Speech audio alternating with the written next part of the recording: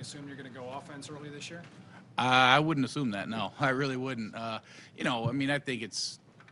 I mean, you guys all know it's. Uh, you know, we're we have some holes to fill out all over the place, we still need holes on defense and and offense. So, um, you know, we're gonna try the the best of our ability to stick with our philosophy of taking the best available player. And you know, I know everybody says that, but you know, we're gonna try to do that. And I think we're probably in a better position to do that than some teams. You know, uh, some teams they're maybe one or two positions away from being really good, and you know, so I think it's probably a, a positive for us that we can sit there and you know take a, the best available player. Can you uh, answer Da'Quan Bowers? Do you, are you satisfied his knee is okay? Uh, yes. For the long term, you think, Yeah, I, our, our doctors, you know, have, you know, looked at him a hundred times and he, he went to the recheck and, um, you know, so we've done our due diligence and, you know, I, I don't want to get into the whole, all these medical stuff, but yeah, his, we think his knee's gonna be all right. Number six, do you weigh a potential injury risk more than you would at 15 or 21? Um, you know, I, it's, I think it depends on what the injury is and, you know, what our doctors say, you know, if, if our doctor says he can play, then, then no. I mean, yeah, you know, obviously you, you look at it, but if, you know, really, if our doctors think it's not gonna be a big deal, then we just have to go with that. Certain line saying you believe in them and uh, that kind of stuff.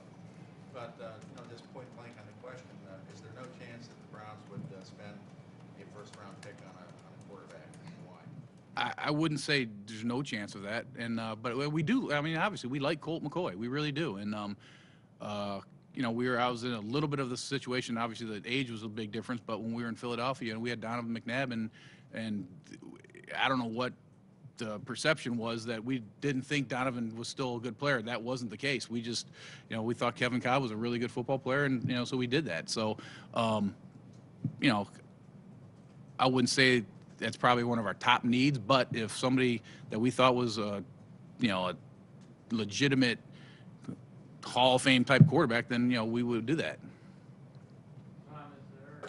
Uh, when you look, say, second, third, fourth, round, kind of those middle rounds, are there one or two positions where there's just a whole lot of guys that really come into play, and that especially would fit what you're doing? I mean, uh, specific spec- uh, position. Like, say it's, there's a bunch of good linebackers in those Um, rounds, or a bunch of good whatever. That's a good question. Uh, you know, I, I think there's there's guys throughout the draft. Yeah, I don't know if there's a one position that maybe better than others, but we have certain players at each you know each round that we think can come in here and help us. I don't know if there's like a group of like say in the I'm just to answer your question, the fourth round there's a bunch of linebackers. I think there's yeah, but I think there's there's players that we think are going to be in the fourth and fifth round that can help us not at a specific position, but there's guys that we like in those rounds. There there really are. Julio Jones better than AJ Green and vice versa? Um, you know, that's kind of the.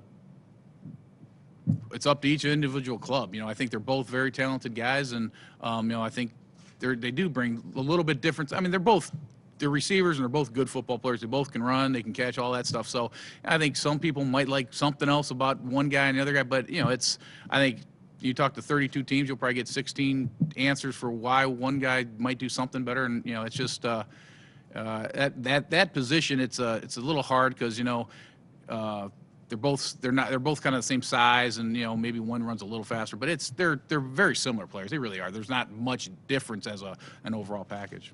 Which one's better suited for the West Coast offense? I don't think e- either one's fine. I don't think there's one other. Bowers' knee, but uh, Julio just had surgery recently on his foot. Any concern there? No, you know, like I said, we, you know, I hate there's a there's a zillion guys that have these medical. There's just some stuff, and you know, it's uh, you know, we we're aware of everything, and you know, I think we're we're, we're you know, those guys, I think we're fine with that.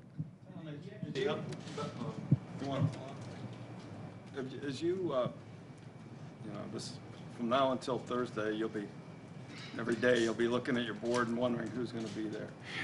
Is there one key thing that can happen in front of you that will change everything? Uh, no. Um, One team that you're really, that could trigger what you do? um, really, there's it's not. You know, I think you know, if we end up staying where we're staying, I, we're going to get a good football player. I, we there's six guys, and we're we're going to get a good football player. I don't. So that's that's probably the nice thing. Obviously, you don't want to pick up there all the time, but that's probably the nice thing about it. We we know we're getting a good football player. We have six guys that we're, would be happy with. So if we stay here, then, you know, we're, we're good. So it really, it really is not going to affect us what happens up there. You know, obviously, one guy that we might like a little bit better might fall to us, but it's not a situation where we're, we're that concerned about it.